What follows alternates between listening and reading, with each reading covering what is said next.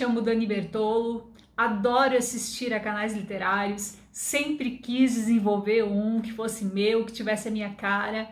Então hoje eu vim aqui apresentar para vocês a minha proposta de canal literário. Bem, gente, eu sou professora de língua portuguesa e apesar de ler muito, eu não tenho costume de ler literatura infanto-juvenil. Isso é um problema, porque todo ano eu preciso interagir com crianças e pré-adolescentes sobre vários assuntos da disciplina, dentre eles literatura. Mas, gente, não é por má vontade, eu apenas não dou conta. Tenho certeza que muitos professores vão se identificar comigo. Vocês precisam imaginar que um professor formado em letras, em, né, que dá aulas de língua portuguesa, ele atende de sexto ano do ensino fundamental até o terceiro ano do ensino médio.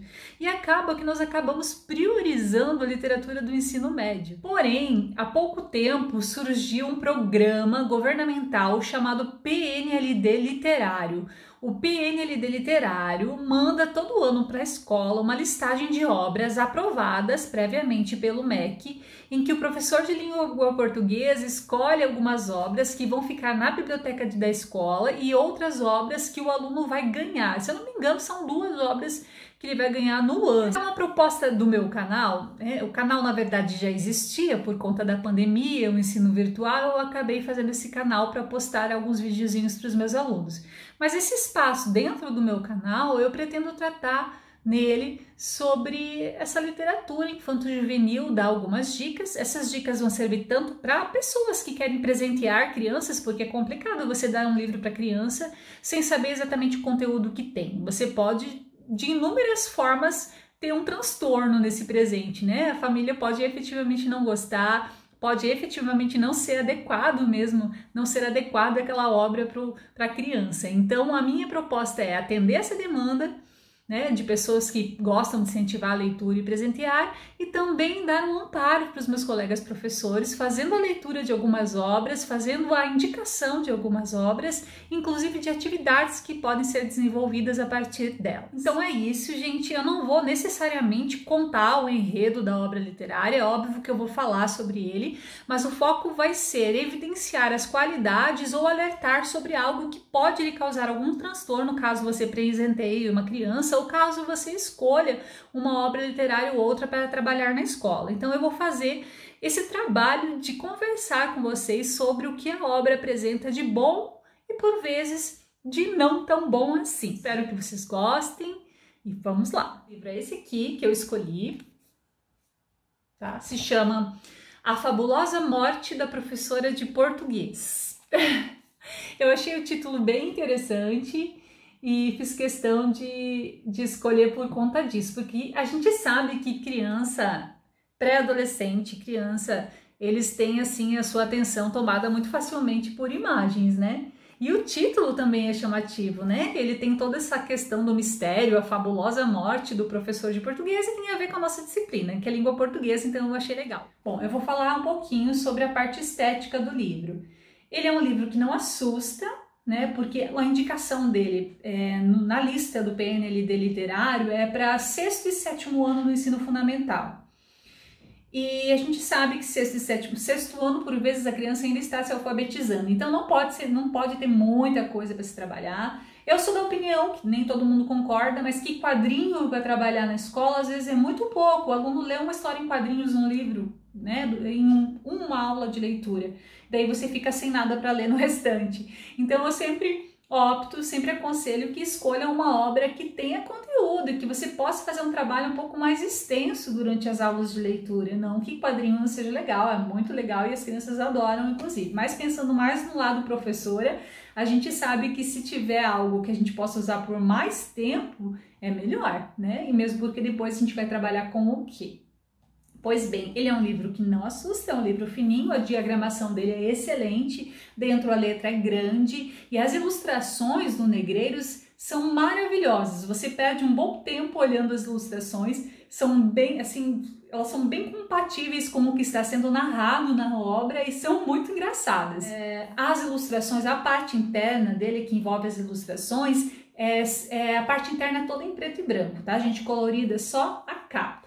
Sobre o autor, é um autor bastante premiado. Lourenço Casarré escreve para jovens desde 1985. Em 98 ele ganhou o prêmio Jabuti. Então, se você de repente não gostar do título dessa obra, você sabe pelo menos que se encontrar outras obras desse autor, você vai estar adquirindo um livro de qualidade. Pois, minha gente, é de qualidade mesmo. Eu gostei muito da obra e sim, vou falar recomendando para os meus colegas para que a gente trabalhe essa obra na escola e também para as pessoas que querem presentear, porque eu tenho certeza que mesmo uma criança que não tem o hábito da leitura vai gostar dessa obra. Sobre a obra em si, eu adianto para vocês que foi escrita em primeira pessoa e uma coisa muito importante é que o texto é construído com períodos curtos.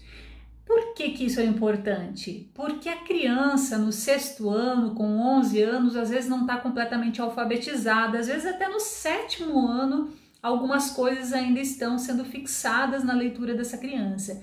O fato de ter um período curto facilita a compreensão do que está sendo dito. Pense bem, até você como adulto, às vezes quando o período é muito longo, você acaba que é, esquece o que leu, né? Parece que você acaba esquecendo parte da informação. Então, você imagina uma criança de sexto e sétimo ano. Gente, sobre a história em si, ela fala sobre duas crianças do oitavo ano do ensino fundamental, eles têm 14 anos, que são responsáveis pelo jornal da escola. E eles vão cobrir um evento para a escola, eles têm que produzir uma reportagem. O evento é inauguração, reinauguração, agora não me lembro, de uma livraria. E eles têm que ir até lá, entrevistar as pessoas, né? E depois fazer uma reportagem a respeito disso. Chegando lá, tem várias pessoas que eles já conhecem, já conhecem, eles conhecem as pessoas que estão ali e principalmente o professor de português, o Severino Severo. A questão é que o Severino Severo, além de professor de português, ele é crítico literário. E por ser crítico literário, ele é extremamente crítico.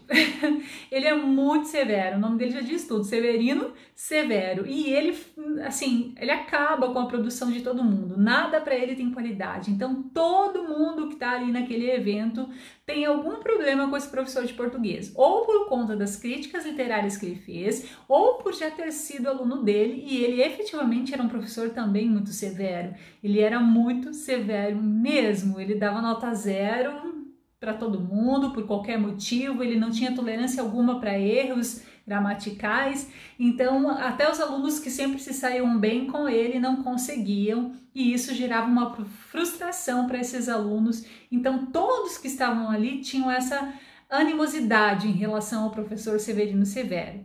O que ocorre, né, que é o próprio nome, o título da obra diz, é que o professor ele é assassinado e a história ocorre, né? A história acontece contando isso, né? Até antes do professor ser assassinado, até a morte dele e depois, né, o desenlace, o que acontece, que eu não vou contar para vocês essa parte. É muito interessante, gente, uma criança de sexto e sétimo ano vai se interessar, porque você fica com vontade de saber quem cometeu o crime. Você fica interessado em saber também por que, que cada pessoa que está ali detesta aquele professor. Ao mesmo tempo que você tenta ficar com pena do professor, afinal é um professor, né? E também é uma pessoa mais velha que gosta de literatura, ao mesmo tempo você fica com raiva desse professor, porque ele realmente é, é demais, sabe? Ele é muito crítico, ele é muito bravo, ele é muito intolerante, então isso gera uma curiosidade, vai animando você a fazer uma leitura até rápida dessa obra. É, vale a pena, gente tanto para presente quanto para trabalhar na escola, você vai ter atenção das crianças, seja de sexto ou sétimo ano no ensino fundamental.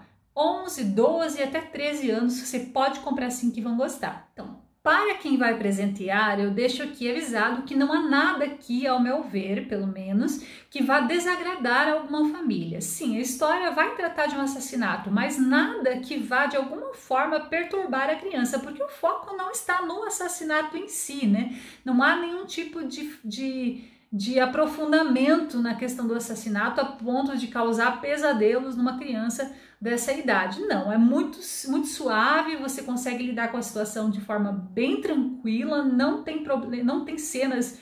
É, tem cena de violência? Tem, mas nada grave, são coisas bem, bem comuns, bem corriqueiras. É muito tranquilo, gente. Pode presentear sem problema, não tem problema nenhum mesmo. Na minha opinião, não tem problema não. E também não tem problema para trabalhar na escola. Isso que faz esse livro ser um livro bom, porque ele vai tratar de um tema pesado, que é um assassinato, mas ele consegue tratar desse tema de forma leve, de forma engraçada, né? Tudo que acontece, tudo que tem, todos os elementos que, que permeiam essa obra são interessantes. Os nomes das personagens são engraçados, Severino Severo, geralmente eles começam com a mesma letra, né? Como Severino Severo. É, são nomes engraçados, não, não são nomes comuns sempre tem algum significado é, no nome, o que né, dá graça para a leitura também, é bastante interessante. Então, ao meu ver, não tem nada que vá é, te prejudicar ou que vai ficar feio para você dar de presente para alguém. Pode presentear, tá, gente? Fora que é bonito e a criança vai gostar. Então, a partir de agora, eu vou falar algumas questões que o professor de língua portuguesa pode utilizar, pode trabalhar na sala de aula quando estiver aplicando a leitura desse, dessa obra, tá? Uma das questões que eu achei muito interessante é que por vários momentos o autor menciona autores clássicos da nossa literatura. Vários, vários autores são mencionados. E isso pode servir né, para que o professor consiga já lá no ensino fundamental, lá no sexto ano, mostrar para esse aluno que esses grandes autores mais para frente no ensino médio vão ser estudados de forma mais é, aprofundada por eles. E por serem grandes autores, acabam sendo citados em outras obras. Então é muito interessante. Em certo momento também ele explica, né, ali no decorrer do livro, as escolas literárias. Ele fala o que são escolas literárias de forma bem tranquila também, nada assim aprofundado que vá perturbar a leitura, mas ele já dá abertura para o professor falar sobre o que são escolas literárias, que os alunos vão estudar mais para frente. Eu achei isso muito bacana. Outra coisa que esse livro tem e que é legal, principalmente para sexto ano, é que ele, ele é bastante descritivo. Então, quando ele apresenta uma personagem, ele descreve fisicamente aquela personagem. A gente sabe que sexto ano é muito bacana trabalhar com sexto ano e pedir para eles ilustrarem aquilo. Então, é, por exemplo, quando faz a descrição do professor Severino Severo, ele faz detalhadamente. E seria muito legal pedir nesse momento que os alunos desenhassem né, como eles imaginam aquele professor apenas com base na descrição. Para isso tem que tomar um cuidado, porque na página seguinte já tem a ilustração do Negreiros, né? Mas o professor, sabendo de antemão, ele consegue de repente dar uma seguradinha e, primeiramente, trabalhar essa questão do aluno desenhar o professor antes de olhar a ilustração. Isso seria bastante interessante para um sexto até para um sétimo ano. Em certo momento, o autor também fala de João Guimarães Rosa e de algumas questões relacionadas às obras do Rosa. Nós sabemos que a linguagem do Rosa é bastante complexa, inclusive para o ensino médio, mas ele fala um pouquinho sobre isso e de forma bastante interessante. E isso pode ser uma oportunidade para propor para esses alunos criarem variações linguísticas, né? trabalhar a questão da variação linguística e propor que esses alunos também criem variações linguísticas, para eles compreenderem que não há problema nenhum em nossa língua, por ela ser tão variada, por nós termos tantas variações, que isso é normal. Então eu acho muito bacana esse trecho, acho que dá para ser explorado nessa questão, dá para pedir para os alunos produzirem algum texto explorando a variação linguística, onde eles pudessem mostrar sua criatividade nisso. Alguns ditados populares também aparecem, algumas frases bastante conhecidas, como é, cutucar a onça com vara curta. Deixa eu ver aqui que eu anotei algumas para passar para vocês é, cão que late não morde, enfim, são, são frases que também dá para você trabalhar a questão da linguagem conotativa, denotativa com um aluno, dá para você explorar isso de forma ampla. Há um trecho muito interessante que eu gostei muito, em que um dos, dos, dos personagens conta que produziu um texto para o professor Severino Severo, onde de forma proposital ele escreveu produzindo cacofonias, né? aquele ruído que fica no som das palavras quando produzidas de certa forma. E ele, ele apresenta no livro o texto que ele produziu com a cacofonia. Esse trecho é sensacional, gente. Se você tiver que trabalhar isso no sexto, no sétimo ano, dá para pegar o fragmento que ele produziu, dá para mostrar para os alunos dá para explicar o que, que é com base na obra literária. Então ela atravessa o seu conteúdo. Há, em certo momento também no livro, uma crítica sobre professores que por vezes podem escolher alguns livros que não são condizentes com a idade séria. Por exemplo, você trabalhar um clássico literário, alguns clássicos literários, como Sermões do Padre Antônio Vieira ou qualquer outro, no ensino fundamental. Então ele critica, ele diz que talvez esse tipo de obra não seja adequada, embora alguns alunos deem conta, mas não seja adequada para o ensino fundamental. E eu também acho que não é mesmo, né? A não ser que ocorra uma boa mediação, senão não adianta, né? O aluno não vai entender o que está escrito ali. E ele menciona outro livro muito famoso, que é A Ilha do Tesouro Perdido, que ele fala sobre essa obra, o quanto ele gostou, e isso é bastante legal. Então é isso, gente. Para os professores, eu deixo aqui uma, algumas sugestões como principais. Há mais coisas, tá? Há muitos autores aqui sendo mencionados.